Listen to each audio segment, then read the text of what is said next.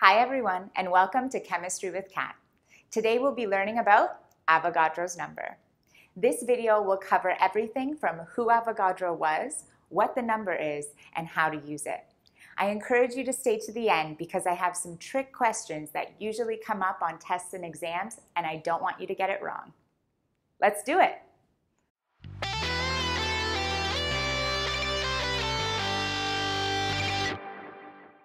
Amedeo Avogadro was an Italian scientist. He lived from 1776 to 1856. He's actually most famous for his work on gases. He was one of the first people to figure out the relationship between volume, pressure, and temperature when it comes to gases. He actually has a gas law named after him called Avogadro's Law, but we won't get into that today. You'll see it in the gas unit. He was also one of the first people to figure out that a molecule could be made up of something even smaller. At that time, they didn't know, but they were talking about atoms. It wasn't until a 100 years later that Niels Bohr came around and discovered the atomic model. Avogadro's number is the number of molecules, atoms, or ions in one mole of a substance. Now, if you're unsure what a mole is, I'm going to link my video on moles, mass, and molar mass here. But for a quick review, a mole is our unit of measure in chemistry. I always try to think of baking. When I try to measure flour, I wouldn't say I have a thousand little specks of flour. I would just say I have one cup of flour. The same thing goes for chemistry. I say I have one mole of a substance. Talking in moles allows us to talk about chemistry in everyday terms. Because remember, we're dealing with atoms, which are so small we can't even see them with the naked eye.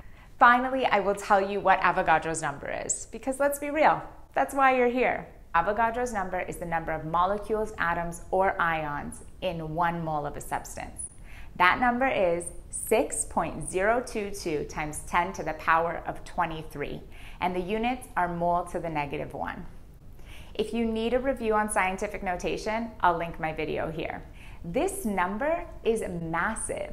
This is 10 to the power of 13 times the population of Earth. That's literally 1 million billion times the population of Earth. Thanks to Avogadro's number, we know that one mole of chlorine has 6.022 times 10 to the power of 23 atoms we know that one mole of glucose has 6.022 times 10 to the 23 molecules. And we know that one mole of nitrate ions has, you guessed it, 6.022 times 10 to the 23 ions. Anytime we're switching from molecules to moles or moles to molecules, we use Avogadro's number. The equation goes like this. Moles times Avogadro's number equals the number of molecules, or atoms or ions. Anytime you get a question where they give you either atoms, molecules, or ions, you need this equation because you can't do chemistry without finding the moles. So our first example asks, 0.450 moles of iron contains how many atoms? This is a dream question because all you have to do is plug it into the equation. So we know number of atoms equals the moles times Avogadro's number. 6.022 times 10 to the 23 mole to the negative 1. That crosses out the units and we're left with 2.71 times 10 to the 23 atoms. There you go. Now you'll notice I have three significant figures here because there's three significant figures in the question. If you want a review on significant figures, I'll put the link here. So here we have almost the exact same question, but there's a little trick in it. Now they give us 0.450 grams of iron and ask how many atoms are in that. We have to find moles to find how many atoms. So if you remember, moles is equal to mass over molar mass. So the moles of Fe equals 0.450 grams divided by the molar mass of iron, which is 55.85 grams per mole, which equals 0.008057 moles. Now we can plug that number into our equation. So the number of atoms will equal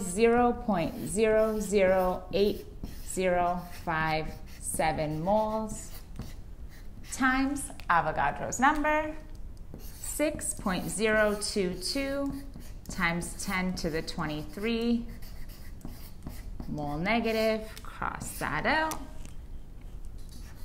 4.85 times 10 to the 21 atoms. You've made it to the end, and my trick question for today is which contains more molecules?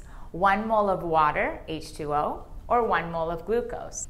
The answer is they both contain the same amount because they both are one mole, which means they both have 6.022 times 10 to the power of 23 molecules in them. Avogadro's number. And we're done. Now for homework, I'm going to leave you with this question. How many carbon atoms are in a 100 gram sample of aspirin? Tune into my next video to see how we solve this one. If you like what you learned today, please feel free to hit the subscribe button. You can also hit the little notification bell so that you're the first to know when a new lesson drops.